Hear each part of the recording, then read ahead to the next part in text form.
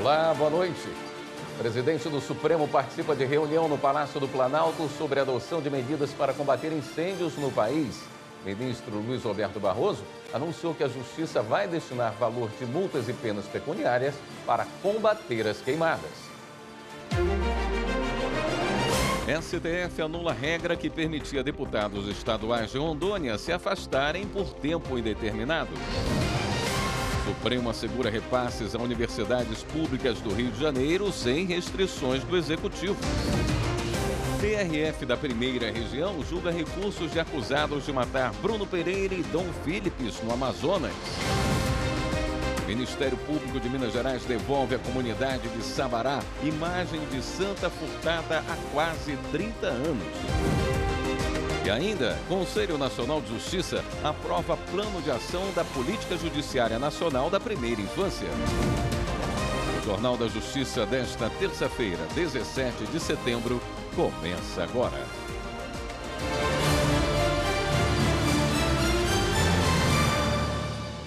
O Supremo Tribunal Federal invalidou norma do Estado de Rondônia que autorizava os deputados estaduais a se afastarem por tempo indeterminado para tratar de interesses particulares sem a perda do mandato.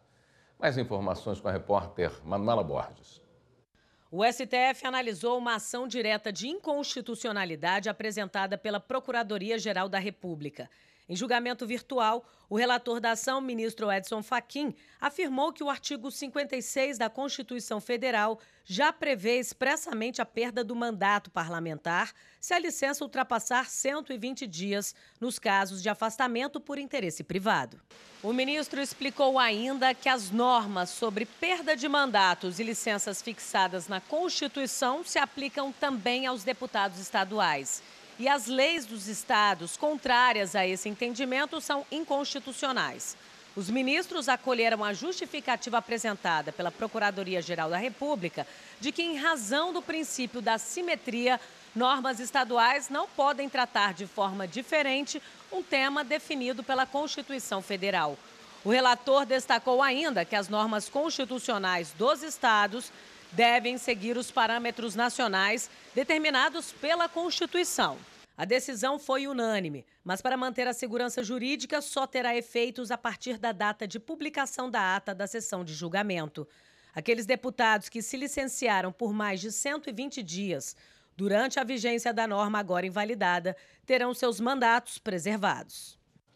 A Suprema Corte determinou que o governo do estado do Rio de Janeiro repasse mês a mês a verba orçamentária para as universidades públicas do estado. Quem traz os detalhes dessa decisão é a repórter Viviane Novaes. A decisão atende ao pedido do Rede Sustentabilidade.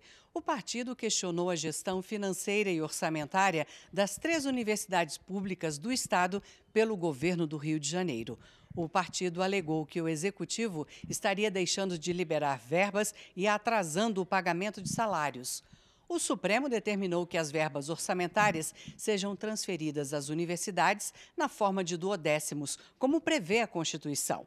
O Executivo deve repassar um dozeavos da receita até o dia 20 de cada mês. Isto já ocorre em relação ao Legislativo, Judiciário, Ministério Público e Defensoria Pública. No julgamento, prevaleceu o voto do presidente do STF, Luiz Roberto Barroso. Mas o ministro deixou claro que as universidades não estão imunes às crises financeiras do Estado. Se a receita for menor do que a prevista no orçamento, o executivo pode limitar a transferência de recursos. O plenário do Supremo, na sessão desta quarta-feira, deve anunciar o resultado do julgamento sobre medidas que o Ministério da Saúde deve adotar para garantir o atendimento em saúde de pessoas transexuais e travestis, de acordo com o gênero com o qual se identificam. Os detalhes com a repórter Marta Ferreira.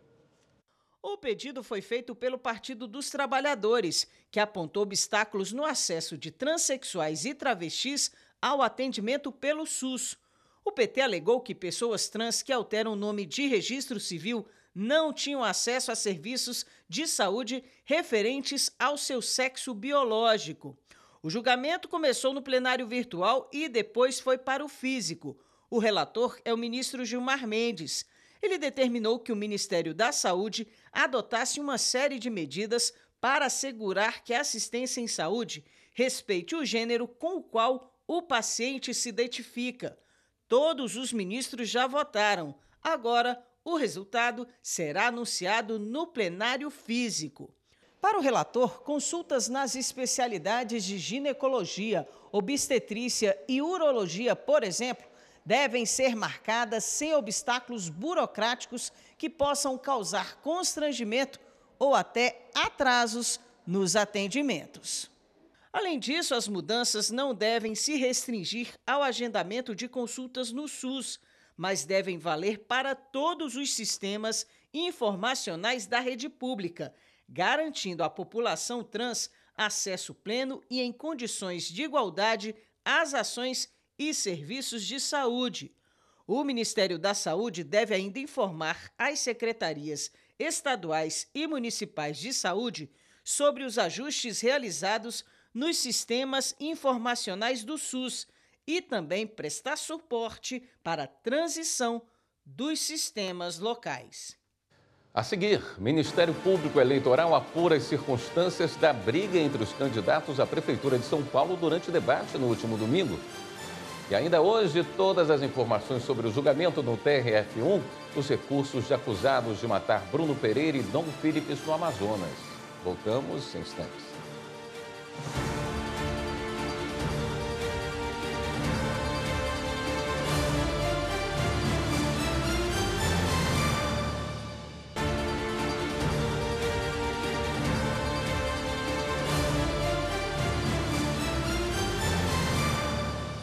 O Ministério Público Eleitoral abriu investigação para apurar as circunstâncias da briga entre os candidatos à Prefeitura de São Paulo, José Luiz da Atena e Pablo Marçal.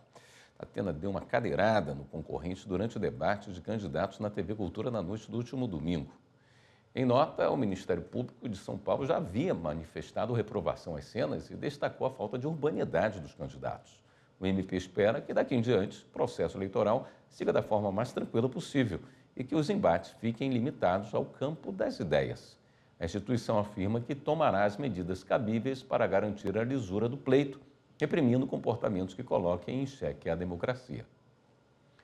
A ministra Carmen Lúcia, do Supremo Tribunal Federal, participou da primeira edição do seminário Mulheres na Liderança por um Brasil Mais Seguro. O encontro foi promovido pelo Ministério da Justiça. Repórter Carolina Chaves acompanhou e tem os detalhes. O seminário discute a aplicação dos princípios de liderança feminina, a cultura de igualdade de gênero e o fortalecimento das habilidades de liderança feminina inclusiva. 42 servidoras que atuam em várias áreas da segurança pública, como de perícia, guardas municipais, polícia civil, penal federal e rodoviária federal, discutem formas de enfrentamento à desigualdade de gênero e de raça no setor. Segundo Aniele Franco, é preciso colocar em prática medidas que possam criar um novo modelo de segurança pública. Pensar a segurança não somente no aspecto repressivo.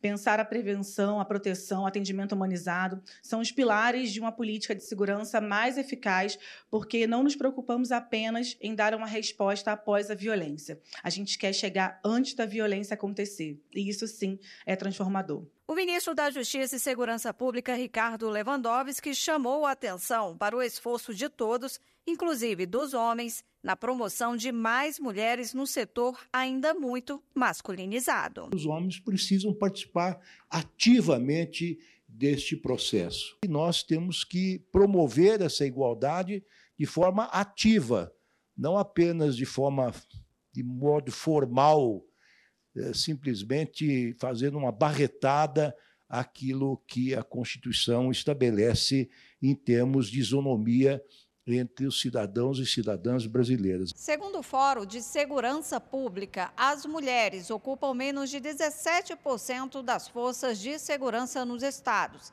Apenas o Distrito Federal tem uma mulher no comando da Polícia Militar. A Polícia Federal nunca teve uma mulher como diretora-geral.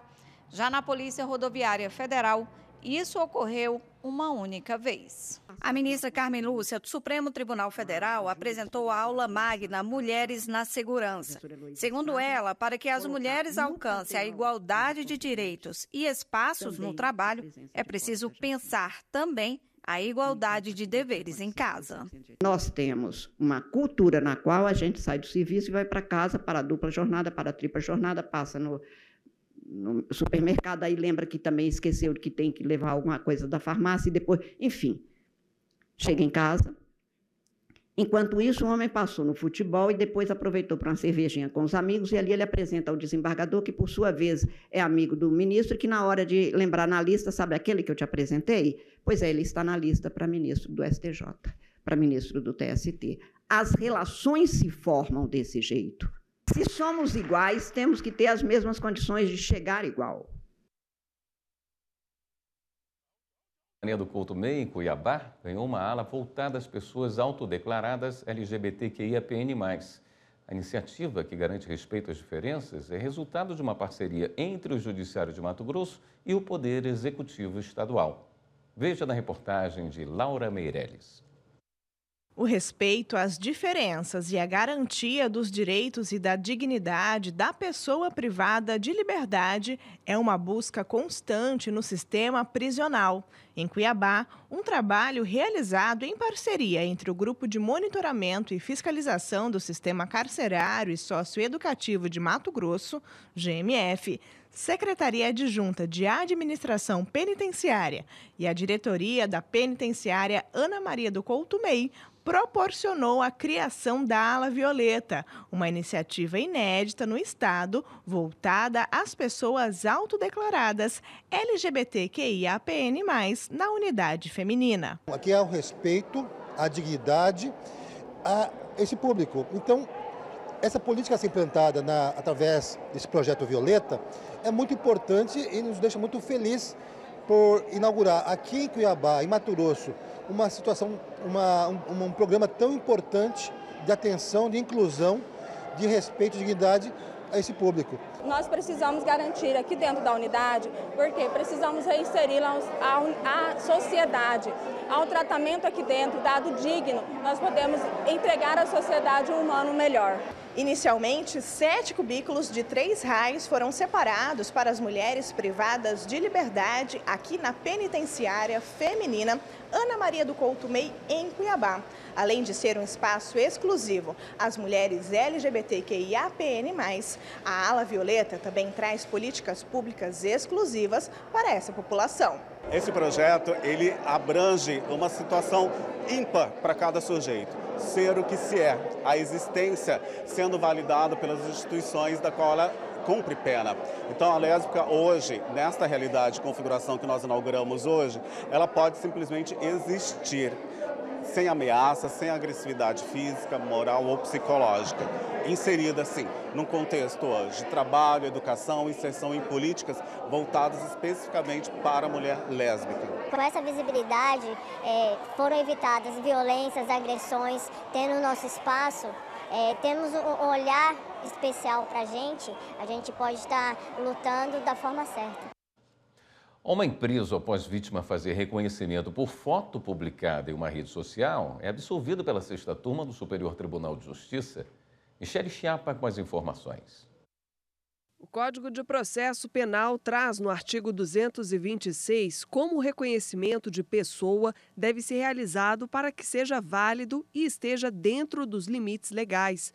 O objetivo é que não aconteça a identificação equivocada mas a advogada Isabela Lima explica que, mesmo assim, pode ocorrer o fenômeno dos erros honestos. Os erros honestos são erros compreensíveis, são erros não propositais, no sentido de que a vítima ela pode criar falsas memórias acerca do que ocorreu. Então, sim, no relato da vítima podem ter pontos controversos em relação ao que de fato aconteceu, principalmente pelo decurso do tempo. Um caso de reconhecimento equivocado chegou ao STJ. Conforme o processo, a vítima foi assaltada por dois homens em uma moto e acionou imediatamente a polícia. O piloto foi capturado, mas a pessoa na garupa fugiu. Por conta própria, a vítima vasculhou a rede social do homem preso. Ao ver fotos dos amigos, achou que um deles seria o suposto comparsa. As imagens foram levadas à polícia e foi feito o reconhecimento formal tanto na delegacia quanto em âmbito judicial.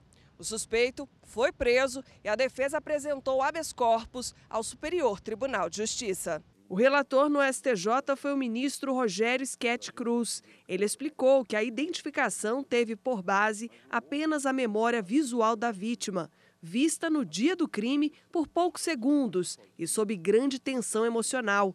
O ministro observou que, segundo vários estudos, a vítima em tais circunstâncias pode ser levada a identificações equivocadas e ao fenômeno dos erros honestos. Ainda segundo o ministro, a defesa apresentou documentos comprovando que o homem tinha fraturado a perna um mês antes do crime e que uma testemunha disse ter visto o réu com bota ortopédica na véspera do assalto, o que contrasta com a narrativa da vítima de que o criminoso teria descido da moto para anunciar o assalto e depois escapado da polícia ao fugir correndo. Os demais ministros da sexta turma seguiram o relator e o homem foi absolvido. A intimação pessoal do devedor de pensão alimentícia pode ser dispensada, mesmo que o advogado não tenha poderes especiais para receber comunicações processuais. O entendimento é da terceira turma do Superior Tribunal de Justiça. Repórter Samanta Peçanha. Na sessão, os ministros reforçaram que, como regra, é necessária intimação pessoal do devedor sobre a obrigação de pagar os alimentos e a possibilidade da prisão civil, mesmo se o advogado tiver poderes especiais para este fim. Porém, no caso julgado, diversas circunstâncias permitem configurar que o devedor teve ciência da ação e, por meio do advogado, exerceu o contraditório e se manifestou normalmente no processo. De acordo com os autos, os credores iniciaram a fase de cumprimento provisório de decisão interlocutória que fixou os alimentos e, por isso, foi determinada a intimação pessoal do devedor para pagar, provar que pagou ou justificar a absoluta impossibilidade de pagar o débito.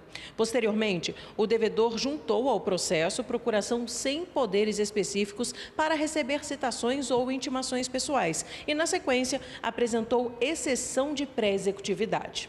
Após parecer do Ministério Público e novas manifestações dos credores e do devedor, o juízo decretou a prisão civil do réu, o qual impetrou habeas corpus em segunda instância e no STJ. A relatora do habeas corpus, ministra Nancy Andrighi, apontou que a Corte Especial estabeleceu que há a configuração do comparecimento espontâneo do réu com a apresentação de embargos à execução ou de execução de pré-executividade, mesmo que o advogado não tenha poderes especiais para receber citação. No caso dos autos, a relatora pontuou que, além da exceção de pré-executividade, os advogados seguiram atuando no processo e realizaram inclusive defesa de mérito, tanto em relação ao valor do débito alimentar, quanto no tocante à impossibilidade de prisão civil do devedor. Nancy Andrighi enfatizou a importância de a primeira intimação do devedor de alimentos ser realmente pessoal. Contudo, ela observou que as demais, relativas às parcelas da dívida alimentar que vencerem no curso do cumprimento de sentença, poderão ser validamente efetivadas na pessoa do advogado constituído pelo réu. Por conta disso, o habeas corpus foi negado. E a terceira turma do STJ decidiu que juízo que expede carta precatória tem competência para julgar embargos de terceiro se o bem penhorado for indicado. Quem explica essa decisão é a repórter Jéssica Castro. Os ministros entenderam por unanimidade que, nos casos em que há indicação expressa do bem a ser penhorado pelo juízo que expede carta precatória, é dele também a competência para julgar os embargos à execução de terceiros. O entendimento foi firmado ao julgar recurso em ação de execução em que foi expedida a carta precatória do juízo em São Paulo para o juízo no Distrito Federal, com o objetivo de penhorar e expropriar patrimônio da empresa Expresso Brasília. Mas outra empresa do mesmo grupo, chamada Viplan, suscitou nulidade da penhora, alegando que o bem era de sua propriedade e que o juízo que expediu a carta precatória não detinha competência para determinar a expropriação. O Tribunal de Justiça de São Paulo entendeu que a competência para apreciar os vícios na penhora e alienação do bem imóvel em discussão seria do juízo do Distrito Federal, porque os atos para os quais se busca a declaração de nulidade foram praticados nele. O relator, ministro Marco Aurélio Belize, explicou que a jurisprudência do STJ fixou o entendimento de que, na execução por carta precatória, a competência para julgar embargos de terceiro, caso tratem sobre vícios ou defeitos na penhora, avaliação ou alienação de bens, deve ser do juízo que executa a carta precatória, salvo se o bem apreendido houver sido indicado pelo juízo que a expede, porque nessa hipótese atrairia a competência para o julgamento dos embargos. Ao dar provimento ao recurso para reformar acórdão estadual, o colegiado observou que a decisão do Tribunal de Justiça de São Paulo contraria entendimento do STJ.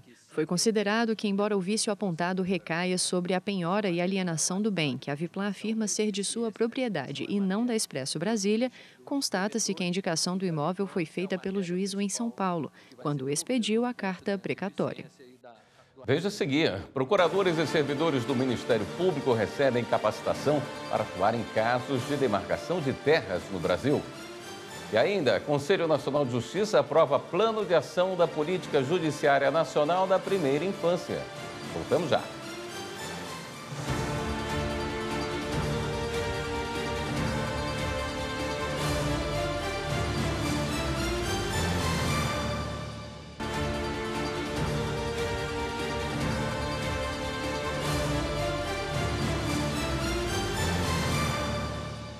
Hoje, na sessão extraordinária do Conselho Nacional de Justiça, foi aprovado o Plano de Ação da Política Judiciária Nacional da Primeira Infância. Repórter Manuela Borges acompanhou. O Plano da Política Judiciária Nacional pretende capacitar os tribunais de todo o país para garantir os direitos das crianças com menos de seis anos. O presidente do STF do CNJ, ministro Luiz Roberto Barroso, defendeu o estímulo de ações que promovam o desenvolvimento neurológico, cognitivo, psicomotor e emocional nos primeiros mil dias da criança. Os primeiros seis anos de vida de uma criança, como nós bem sabemos e as pesquisas documentam, são os anos mais importantes na formação de uma pessoa. É o momento em que o cérebro é uma esponja capaz de absorver toda a informação que recebe e, portanto, esse é o momento certo de dar a essa criança nutrição adequada, capacidades cognitivas, valores, afeto, e essa é a nossa grande preocupação. Neste plano de ação, cada estado deve elaborar ações de acordo com a realidade local para assegurar atendimento prioritário, direito à filiação e convivência familiar, acesso à justiça, planejamento familiar, prevenção e enfrentamento ao trabalho infantil e à violência, licença maternidade e paternidade e proteção aos dados digitais. De acordo com a conselheira Renata Gil, demandas judiciais relacionadas à primeira infância já ocupam o quarto lugar no ranking do Judiciário. Para a magistrada, é preciso que haja articulação entre diferentes segmentos da justiça para colocar em prática tudo o que o plano prevê, dando prioridade aos atendimentos psicológicos e à lista de adoção. Dentre esses eixos da primeira infância, a gente entende que é muito importante que seja melhorada a questão da, da fila de adoção. A gente tem algumas prioridades, a entrega voluntária de crianças. O, o governo do Distrito Federal tem um projeto muito bacana e a gente quer incorporar isso e melhorar a situação das varas de infância e juventude, especialmente com relação a psicólogos e assistentes sociais. A política judiciária nacional para a primeira infância vai ao encontro do marco legal que trata dessa fase da vida, instituído por lei em 2016. Entre os avanços trazidos pela legislação, o aumento da licença paternidade, o direito à estimulação precoce e direitos para as gestantes que optam entregar o filho para adoção ou ainda que estão em situação de privação de liberdade. A lei também define como prioridade a qualificação de profissionais envolvidos com a primeira infância e a destinação de recursos para efetivar políticas públicas que priorizem esses direitos. O corregedor do Conselho Nacional de Justiça, ministro Mauro Campbell, disse que o órgão vai fiscalizar e fazer de tudo para que o plano de ação da Política Judiciária Nacional para a Primeira Infância seja integralmente cumprido. Este é um tema caro para o Brasil e a Corregedoria não poderia se portar de outra forma senão apoiando e incentivando a implementação deste projeto, de forma que, em brevíssimas considerações, a Corregedoria se coloca mais uma vez à disposição para implementar isso e eh, ver a execução desse plano na sua integralidade. E também na sessão de hoje do CNJ foi lançada uma versão atualizada e com linguagem simples do Registro de Ocorrência Geral de Emergência e Risco Iminente à comunidade LGBTQIAPN+, conhecido como Formulário Rogéria. O objetivo é unificar os procedimentos para acolher melhor as vítimas. Marta Ferreira tem as informações. Em 2023, morreram de forma violenta no país 230 pessoas LGBTI. O dado é do Observatório de Mortes e Violências LGBTI, no Brasil. O número equivale a uma morte a cada 38 horas. O formulário Rogéria, que ganhou esse nome em homenagem à atriz falecida em 2017, é um instrumento para agilizar a coleta de dados em caso de LGBTfobia e assim facilitar as respostas institucionais e minimizar a repetição da violência. Criado em 2022, o formulário ganhou agora uma versão mais atualizada, com uma linguagem simples, e estará disponível no país inteiro. Ele será aplicado por delegacias, Ministério Público, Defensoria Pública, equipes psicossociais dos tribunais instituições de assistência social, saúde, acolhimento e proteção a vítimas de violência e violações de direito. Ele vai subsidiar a atuação integrada dos órgãos de segurança pública, do Ministério Público, do Poder Judiciário e das redes de proteção na gestão dos riscos que foram identificados nessa área. Em uma sociedade como a nossa, em que a violência contra as pessoas do grupo LGBTQIA, atinge níveis preocupantes, é de extrema relevância a fim de que nós possamos promover e garantir a integridade e os direitos fundamentais de todos os brasileiros. Um passo importante para a eficácia do documento é a capacitação dos agentes que trabalharão diretamente com o registro das ocorrências. Para que haja uma integração dos dados, foi assinado hoje um acordo de cooperação entre o CNJ, o Conselho Nacional do Ministério Público, o Ministério da Justiça e Segurança Pública e o Ministério dos Direitos Humanos e da Cidadania. Desafios quanto à caracterização da violência denunciada como relacionada à identidade de gênero ou orientação sexual pelo sistema de justiça, desafios com relação ao reconhecimento da violência LGBTQIA-fóbica no momento do registro dos boletins de ocorrência, dificuldade no preenchimento dos sistemas das delegacias policiais. É um exemplo de como o Estado deve conjugar esforços para combater ah, o mal que pode eventualmente solapar as instituições republicanas e a própria vida harmoniosa das pessoas em sociedade. Embora o CNMP tenha avançado na concretização de ações para conscientizar a população sobre a relevância do respeito à orientação sexual e à identidade de gênero, ainda há muito a se fazer. A autora das propostas que ajudaram na elaboração do formulário Rogéria, a cantora Daniela Mercury participou do lançamento da nova versão e ressaltou a relevância de iniciativas como essa no combate à discriminação. O formulário Rogéria, que será implementado em todo o país, é uma resposta concreta à violência que insiste em silenciar a nossa comunidade. É uma ferramenta que não apenas reconhece, mas acolhe e registra a violência contra pessoas discriminadas. A Escola Superior do Ministério Público da União está promovendo um curso de aperfeiçoamento para procuradores e servidores sobre atuação em casos de demarcação de terras do Brasil. Márcio Fontinelli tem as informações.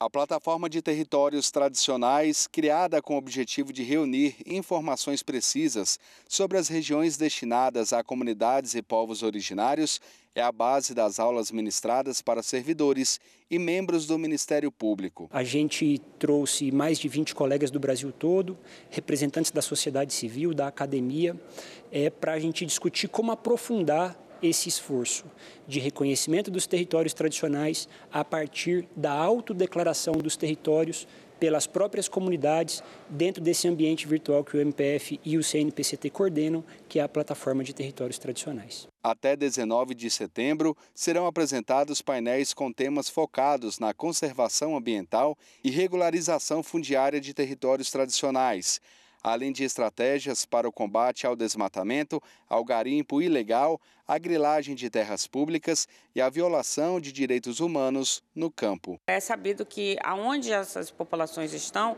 é, a, a, preservação ambiental ela é muito forte e às vezes pode haver também essas populações podem estar presentes em florestas nacionais ou, ou em áreas de preservação permanente. Então ter esse mapa no Brasil perma, é, permite com que nós possamos é, atuar de, melhor. E o curso é exatamente para isso, fazer uma troca entre integrantes dessas populações, é, instituições que trabalham com essas populações e membros do Ministério Público e saber utilizar também a plataforma. O curso Territórios Não Demarcados, O que Fazer, recebeu 176 inscrições e foi acompanhado de forma online por mais de 300 interessados. As atividades acontecem na Escola Superior do Ministério Público da União, em Brasília. A sede do Tribunal de Justiça de Minas Gerais recebeu magistrados, advogados, professores e estudantes de direito para o colóquio Lei de Drogas, Desafios e Perspectivas no Brasil. A repórter Kátia Matos acompanhou. O organizador do evento, desembargador Enéas Xavier Gomes, afirma que grande parte dos crimes tem relação com as drogas. A lei de drogas ela tem a maior incidência proporcionalmente dentro da população carcerária brasileira. Nós temos cerca de 30% dos presos decorrem de crimes ligados à lei de drogas. Portanto, a ideia do colóquio é fazer uma reunião entre a teoria e a prática, aquilo que os aplicadores do direito precisam estudar para a gente aplicar uma lei mais justa, mais correta, e aquilo que a doutrina tem ensinado sobre o tema. A primeira palestra foi direto da Espanha por videoconferência, a professora de Direito da Universidade de Sevilha, Cristina Garcia, falou sobre as diretrizes da regulação antidrogas na Espanha. Em seguida, o promotor de justiça do Ministério Público de Minas Gerais, Fernando Abreu, discorreu sobre a macrocriminalidade relacionada às drogas. Lavagem de capitais, corrupção de menores, ou seja, há diversos delitos que estão hoje notadamente associadas à simples venda de uma substância entorpecente de droga para um usuário. Já o professor de Direito Penal da UFMG, o advogado criminalista Frederico Horta, abriu um painel sobre a punibilidade dos informantes do tráfico, o caso dos olheiros quem fornece aos grupos criminosos do tráfico informações importantes para a realização relativamente eficaz e segura desse comércio, desse negócio é, ilícito. O debate incluiu políticas públicas, tratamento de usuários e desafios na repressão ao tráfico de drogas. Esse colóquio de direito penal é muito importante para que nós possamos discutir e é, refletir um pouco sobre esse aspecto da lei de drogas. Existe muita má informação né, e a respeito disso. Né? É, nós precisamos eh, abertamente discutir sobre o assunto, debater sobre isso, até para a gente criar políticas públicas a respeito da, do problema das drogas. Né? No intervalo do colóquio, o desembargador Enéas Xavier lançou o livro Lei de Drogas Comentada. Nós fizemos uma análise minuciosa de cada um dos seus dispositivos e do impacto de cada um desses dispositivos no dia a dia forense. O evento foi encerrado com uma palestra do presidente do IBERC, o Instituto Brasileiro de Estudos de Responsabilidade Civil. O doutor Nelson Rosenwald falou sobre o mínimo indenizatório nos casos de tráfico de drogas, o diálogo entre o direito civil e penal. O mínimo indenizatório é um instituto criado pelo Código de Processo Penal e que tem grandes efeitos na legislação civil e na legislação penal. Então, meu objetivo é destrinchar exatamente o estado da arte atual da doutrina e da jurisprudência sobre como esse tema tem sido conduzido. O presidente do TJMG, desembargador Correia Júnior, destacou a importância deste debate na sede do tribunal. É uma discussão muito atual, um tema muito relevante no âmbito do direito penal e é muito importante que nós, do Poder Judiciário, é, dialoguemos com a academia para absorver é, as informações e, a partir daí, prestar a jurisdição de uma forma é, com qualidade, rapidez e consentânea com o entendimento da atualidade. Profissionais que atuam no sistema prisional de Mato Grosso estão recebendo capacitação sobre a importância da leitura na formação e transformação do indivíduo. A iniciativa contribui com os projetos desenvolvidos nas unidades do Estado. Veja na reportagem de Eli Cristina Azevedo. A importância da leitura na formação e transformação do indivíduo foi um dos temas trabalhados durante a capacitação online Práticas de Leitura no Sistema Prisional e Remissão de Pena, realizada pelo Grupo de Monitoramento e Fiscalização do Sistema Carcerário e Socioeducativo de Mato Grosso, GMF, para profissionais como pedagogos e professores que atuam no sistema. A leitura é um instrumento importantíssimo para a aprendizagem do indivíduo, porque ela é, promove a melhoria do nosso conhecimento, a, o nosso, a nossa capacitação, é, amplia horizontes. A leitura é, é importante também porque ela é, possibilita que o indivíduo desenvolva uma autocrítica, e especialmente em relação ao privado de liberdade, que ele possa, a partir dessa autocrítica, é, verificar é, quais caminhos ele traçou para chegar aonde ele chegou e o que ele pode fazer para sair do local em que se encontra. Também foram abordadas normativas e experiências de projetos desenvolvidos em unidades penitenciárias de Mato Grosso. Conforme o juiz Bruno de Oliveira Marques, responsável pelo eixo Educação no GMF, a formação faz parte da meta do grupo de implantar a leitura no cárcere nas 41 unidades prisionais do Estado. Para o atendimento deste objetivo, algumas ações foram traçadas. A primeira delas, a nomeação de profissionais, pedagogos para auxiliarem no projeto Remissão pela Leitura, por meio da Secretaria de Estado de Educação, também a doação de acervo bibliográfico, mais de 1.500 livros foram doados, com a previsão de doação de mais de 2.500 até o final do ano, para a estruturação de bibliotecas nas unidades prisionais. E agora nós estamos, juntamente com a SEDUC e com a Secretaria de Administração Penitenciária, promovendo uma capacitação a esses profissionais, professores, pedagogos e também voluntários que atuarão neste processo, nesta ação. A segunda turma do Supremo Tribunal Federal decidiu dois recursos relacionados à Operação Lava Jato da sessão desta terça-feira. Em um deles, os ministros concederam o regime semiaberto ao ex-deputado federal Aníbal Ferreira Gomes, condenado por lavagem de dinheiro na Operação Lava Jato.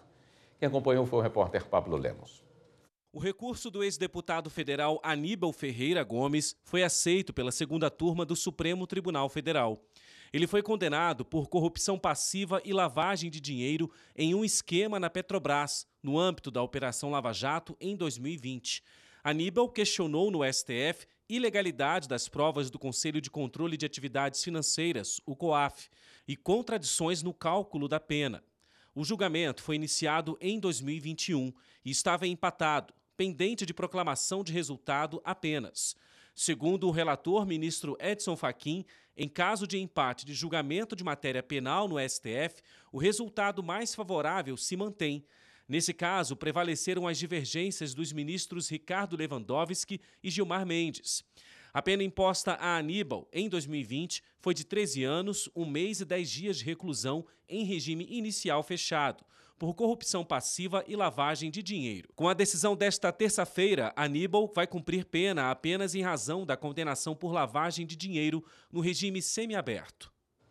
Ministério Público de Minas Gerais devolve à comunidade de Sabará imagem de Santa Furtada há quase 30 anos. E você vai ver também, ministro Luiz Roberto Barroso anuncia que a Justiça vai destinar valor de multas e penas pecuniárias para combater as queimadas. Voltamos já.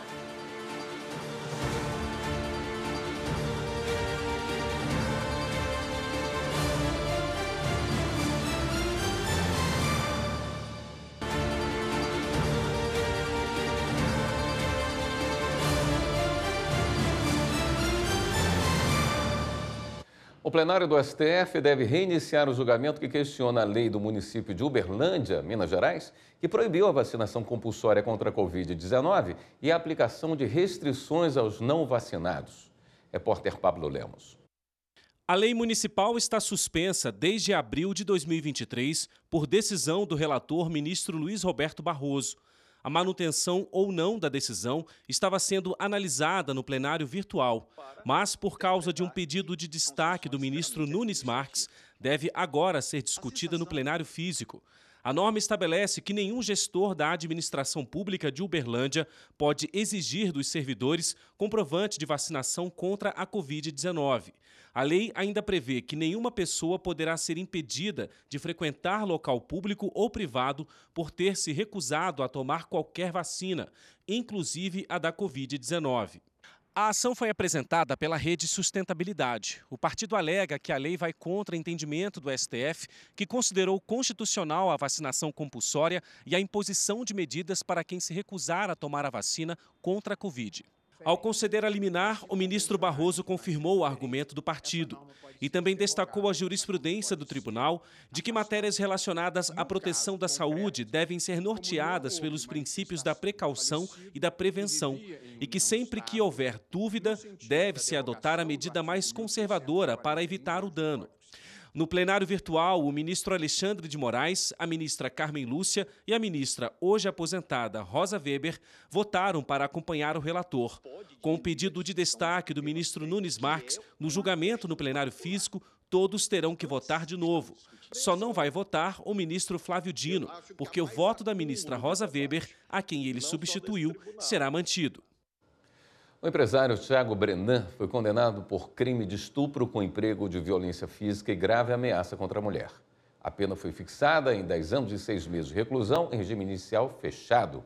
Ele foi condenado por estuprar uma mulher em São Paulo e ameaçar, ameaça de divulgar vídeos do caso na internet.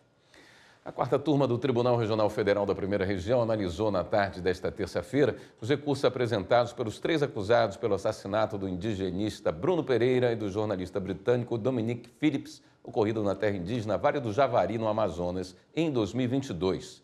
Os detalhes com Ana Paula Souza. Os homicídios ocorreram em razão do trabalho realizado no combate aos crimes ambientais na região. Bruno Pereira estava licenciado de seu cargo na FUNAI e atuava como consultor da União dos Povos Indígenas do Vale do Javari.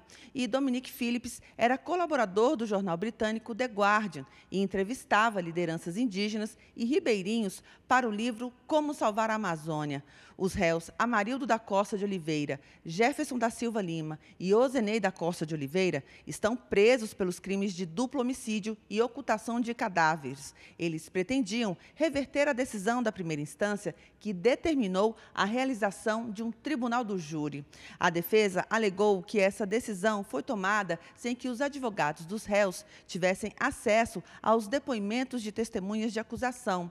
Mas durante o julgamento da quarta turma aqui no TRF1, os magistrados entenderam que nenhum fato houve durante a instrução que justificasse esse pedido. O relator, desembargador federal Marcos Augusto de Souza, concluiu que a decisão de levar os réus Amarildo da Costa de Oliveira e Jefferson da Silva Lima a júri popular está em acordo com as previsões legais, mas entendeu que Ozenei da Costa de Oliveira não teve o mesmo grau de participação no crime e, por isso, deve ter um julgamento que aconteça de forma diversa. A Justiça Federal autorizou uma operação contra um esquema internacional de crimes contra o sistema financeiro e lavagem de dinheiro. Anderson Arcoverde tem as informações. A operação mobilizou 190 policiais federais em cinco estados. Os agentes encontraram caixas e pacotes com grande quantidade de dólares, euros e reais. Segundo as investigações, o esquema tinha cinco núcleos independentes que, em dois anos, teriam movimentado mais de 82 milhões de reais. Os criminosos depositavam dinheiro do tráfico em contas bancárias em nomes de laranjas e comércios, principalmente supermercados na região de fronteira. Após a movimentação nos bancos, os recursos eram mandados para casas de câmbio no exterior e ficavam à disposição das organizações criminosas. A Justiça autorizou 34 mandados de busca e apreensão, seis de prisão preventiva, quatro de prisão temporária além de outras medidas, como o bloqueio de 82 milhões de reais dos envolvidos. E uma investigação da Polícia Federal quer descobrir a causa dos incêndios em todo o Brasil. Em Brasília, o fogo já consumiu mais de 2 mil hectares do Parque Nacional. O Ministério Público de Minas Gerais recuperou uma imagem de Nossa Senhora do Carmo, furtada há quase 30 anos. Vamos ver. Fogo já consumiu mais de 2 mil hectares do Parque Nacional de Brasília e devastou imensas faixas de vegetação. Mais de 500 pessoas, entre bombeiros e brigadistas, trabalham no combate ao incêndio. A PF está atuando para descobrir os autores. A investigação faz parte dos 52 inquéritos abertos pela instituição para apurar as ocorrências em todo o Brasil.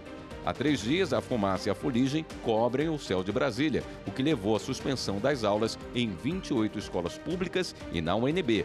Por determinação do governador Ibanez Rocha, as férias dos bombeiros do DF foram interrompidas. A Polícia Federal descobriu uma coleção de animais exóticos ilegais durante uma operação em garimpos de Mato Grosso e do Pará. Foram cumpridos nove mandados de busca e apreensão na cidade de São Paulo e em São José do Rio Preto. As investigações apontaram que empresários comercializavam ilegalmente ouro e usavam empresas de fachada e laranjas para ocultarem a origem ilícita do dinheiro. Somente nos últimos quatro anos, o esquema teria movimentado cerca de 3 bilhões de reais. Além de dinheiro, ouro e muitas armas, o que surpreendeu os agentes foi uma coleção de animais exóticos trazidos da África. Antílopes, búfalos, hipopótamos, girafa e até um leão empalhados foram encontrados na mansão de um dos suspeitos. Segundo o Ibama, não há documentação dos animais. O Ministério Público de Minas Gerais devolveu à comunidade de Sabará uma imagem de Nossa Senhora do Carmo furtada de uma igreja da cidade na região metropolitana de Belo Horizonte. A escultura foi recuperada após uma denúncia recebida pela plataforma Sondar. A partir das informações, o MP instaurou uma investigação para apurar a denúncia e adotar as providências para o resgate da imagem que seria leiloada em Campinas, São Paulo. A santa pertence ao acervo da Igreja da Ordem Terceira do Carmo, uma das belas obras de Aleijadinho e outros artistas. A imagem esculpida em madeira é do século XVIII.